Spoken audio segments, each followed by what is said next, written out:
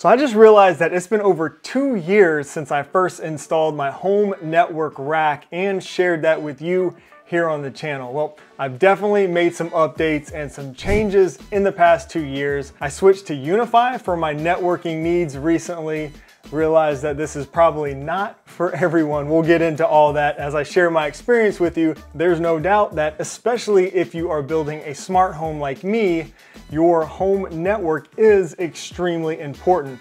I believe it is the backbone of your smart home. So let's talk about the updates that I've made, everything that I am now currently using and why, and maybe whether any of this is something you should consider doing for your smart home. Let's go.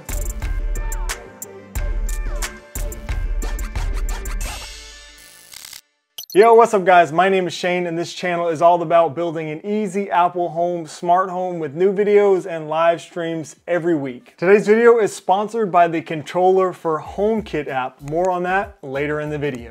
Now I'm gonna give you a full tour of my entire network rack, so stick around for that. But first I wanna talk more about this section right here, my new UniFi networking setup. Now, if you're a regular viewer of the channel, you know I've been building a smart home for years. And when building out your smart home, it's super important to have a solid Wi-Fi network. I've used a few different routers over the years to include some of the top of the line Wi-Fi 7 mesh Wi-Fi systems. And to be honest, I think these plug and play mesh systems are great and might be the best option for most people. So why did I switch to UniFi? And maybe you're wondering if you should too.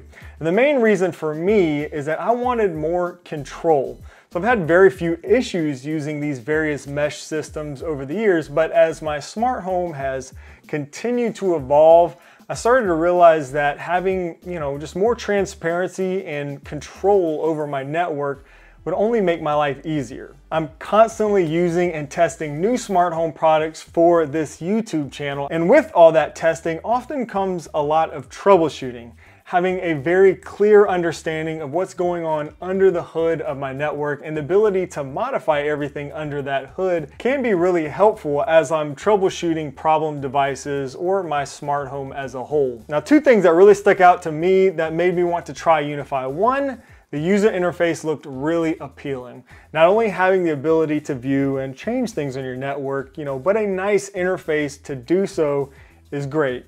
And two, the fan base. I've never seen so many people share pride and enthusiasm over networking gear. I mean, we're, we're talking about routers here, but UniFi seems to have a fan base that only reminds me of Apple's. People love UniFi systems. There are Reddits and Discords and YouTube channels all about UniFi. So that must mean something, right? Well, I decided to go all in. I wanted my network setup to work for me for years to come. So I got the UniFi Dream Machine Pro Max.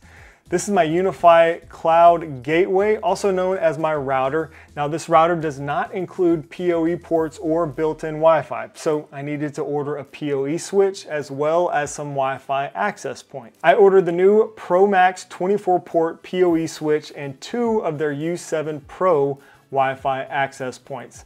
These access points connect to the router via power over ethernet through this 24 port switch. A really cool thing about this Pro Max PoE switch is something new they call Etherlighting. It's a feature that illuminates the ethernet ports to indicate port location, speed, or native network depending on your configuration. All this UniFi gear totaled about $1,800 for me. This setup is certainly a bit overkill for most people, even for myself probably, there are some cheaper options that would have saved me a little bit of money that I could have done. For example, I could have gotten the standard 24 port PoE switch for about half the price as that Pro Max switch. But like I said, I did want to go all in on this and get the best that I could buy. Again, really future proofing uh, for hopefully years to come. Plus, Etherlighting. I mean, come on, super cool. Another thing to keep in mind, many of the top of the line out of the box mesh Wi-Fi 7 systems like Netgear Orbi or others are actually pretty close in price. A big difference between those out of the box systems and the UniFi system is going to be the setup and configuration. Since the UniFi access points must be connected via ethernet, they could be a lot harder for someone to set up if you don't already have ethernet cables ran throughout your house. It takes much more planning and even the help of a professional sometimes to run wires for you. In addition to the hardware setup, there is the software setup and configuration. Again, here much less plug and play than those other systems. Configuring my new network to run perfectly with my smart home did require some time and a little bit of trial and error over the course of probably a few weeks to get it just right. Huge shout out to all of my channel members Thank you for your continued support of the channel. We have some UniFi users in my members Discord server. In fact, I even have a whole channel set up there for UniFi, and it was some of these folks that were able to provide some great advice to me while I was going through my whole UniFi setup process. With the help of those folks and the help of a few YouTube videos, I did eventually get everything streamlined and running great with my new UniFi network. We're all having a blast building our smart homes together. If you'd like to join as a channel member and also get access to my member Discord server as well as other perks like early access to new videos and monthly member chats, click that join button down below next to the subscribe button. Now, while I'm not gonna dive deep here into UniFi setups or configurations, I do wanna answer a few of the common questions that I get as it relates to my network for my smart home. One, Yes, I do have a dedicated IoT network. That's a VLAN that I created specifically for adding my smart home devices to. This is a combined 2.4 and 5 gigahertz network. While most smart home Wi-Fi devices do connect to the 2.4 gigahertz band, I do have some here and there that will connect to the 5 gigahertz band like maybe certain cameras or my Apple TV or HomePod minis. All of my smart home devices, including HomeKit hubs like Apple TVs and HomePods are on this IoT network. Then I keep our iPhones, computers, and other important devices on a separate network. Now, many of the newer mesh Wi-Fi systems like the Orbi Wi-Fi 7 or TP-Link's Deco mesh system also have default IoT networks that you can easily enable uh, which is pretty nice. And you can basically do the same thing here and it's a little bit easier to set up than UniFi. Again, all of the configuration and setup was just more tedious with UniFi. Uh, that's not to say you should shy away from it, just know that it's not exactly plug and play like some of those others, you know, it, that may make a difference. I got by for years using mesh Wi-Fi systems like this with my smart home, for my smart home, and I think you can too if, you know, all that other stuff just sounds like more trouble than it's worth. And believe me, I totally get it. I love to keep things as simple as possible here in my house, but I felt like this, you know, it was worth it in the long run. Being someone who is constantly testing new products and working on my smart home, I mean, this is basically my job nowadays as a full-time content creator. I really, really do love having the maximum amount of control over my network. And on top of the control, the interface, both the web version and the app are great. My Wi-Fi speeds are as good as they've ever been and the reliability of my network has been fantastic. So that is UniFi. Now let's take a quick tour through the rest of my network setup, but first let me tell you real quick about today's sponsor, the Controller for HomeKit app. Now if you're an Apple Home user and you have not heard of this app, you definitely want to check it out. Basically everything the Apple Home app is lacking, you can find in the Controller for HomeKit app organize and create more advanced automations and advanced notifications, create backups of your HomeKit setup, store your device setup codes, and access a bunch of really useful maintenance tools and logs. A new feature even lets you create a detailed floor plan of your home using the LiDAR sensor on your iPhone or iPad and control your HomeKit accessories directly through that floor plan. Just a really powerful app for HomeKit users. You know, we're so quick to spend money on the latest smart home hardware and stuff like that, but rarely want to spend money on the software side of things, but I'm here to tell you apps like this can greatly improve your smart home experience.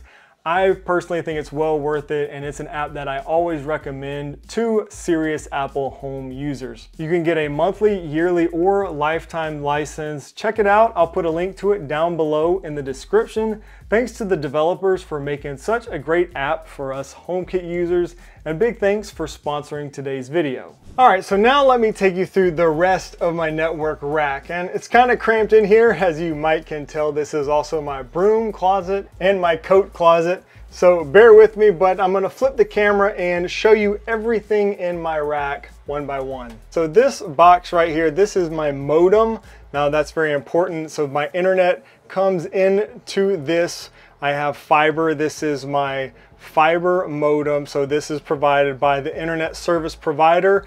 And then that will connect into my UniFi Dream Machine Pro Max. So that is connecting right here. And then my UDM is connected to my switch right here through these SFP ports. Next up top, this is just an abode hub. So this is for a security system, smart security system, works with HomeKit, had that for years. Over here, I have my Synology NAS. So I actually use this to run things like I've got Homebridge on there. I'm also using Scrypted uh, as well as just video backup for all my videos. Uh, once again, real quick down here, we've got my Dream Machine router, my network switch, and this is just a patch panel.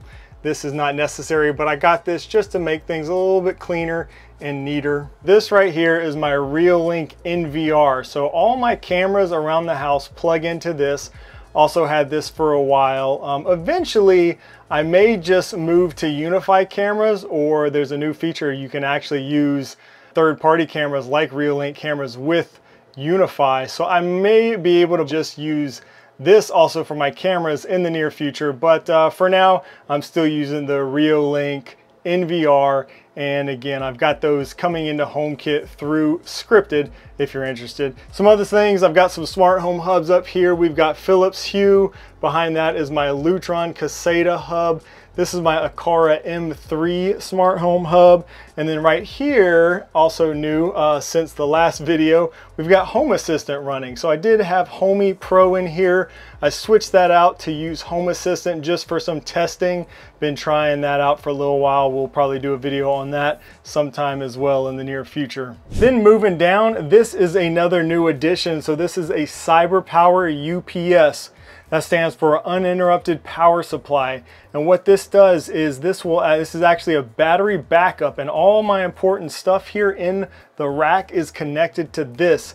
We've actually had some power surges lately, a lot more than usual, so it prompted me to finally pull the trigger on one of these. You can see that with everything I have connected to this right now, we're getting an estimated runtime of 66 minutes. So this will last, according to this, over an hour uh, if we have a power outage, it will keep all of my networking gear still running, so we'll still have internet and all that for that amount of time. So this is really cool. I'm really glad to have that. And I'll put links to everything down below in the description if you want to check it out for yourself. They do have desktop versions, but I really wanted a rack mounted version that I could fit in here um, to just plug everything into that way. And then down here, we've got uh, another smart home hub. That's a Flic hub for my Flic smart buttons. This is just actually a, if you can kind of see in there, it's just a USB power bank. So um, I've got this connected into power and that way I can plug in some of these lower power devices like these hubs right here. Then over here we have an Eve room air quality sensor and I'm really just using this to measure the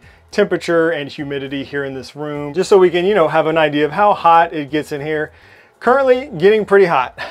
Really the only things new since the last time I did this video is of course the UniFi gear and the UPS battery backup. Some of my smart home hubs are a little different. We now have the Aqara M3 hub in here which is newer and then uh, Home Assistant of course as we're trying out that. And that is my network rack.